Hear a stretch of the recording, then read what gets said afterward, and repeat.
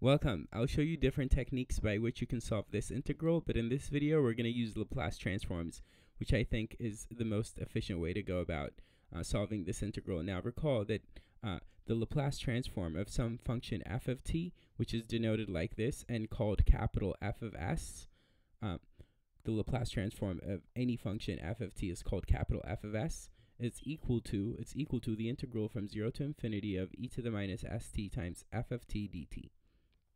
And so, um, applying this definition, applying this definition of the Laplace transform for the function f of t is equal to sine t over t, we'd get that the Laplace transform of sine t over t is first this, and this is just the definition, and we know from differential equations that the Laplace transform of sine t over t is equal to tan inverse of 1 over s. In my differential equations video section, um, I have many videos covering the Laplace transform, so you can watch those to learn more. But yeah, we know that the Laplace transform for the function sine t over t is equal to tan inverse of 1 over s.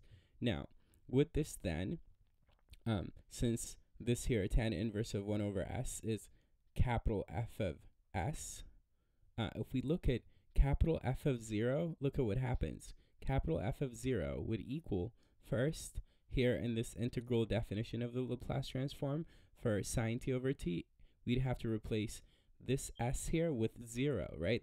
That's how we'd get capital F of 0, right? This s0 means this s here is 0, right? It also means sending this s here to 0, right?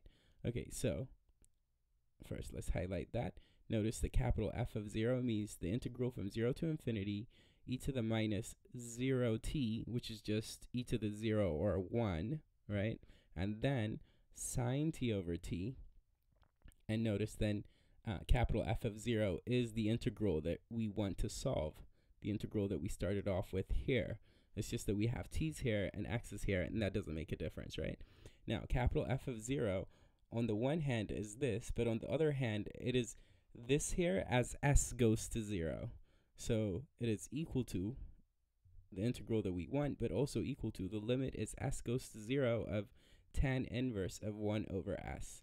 But as s goes to 0, 1 over s goes to infinity, and therefore tan inverse goes to pi over 2, our final answer. Yeah? Cool. All right. I hope you enjoyed this, and uh, lots more to come. Keep watching. Take care.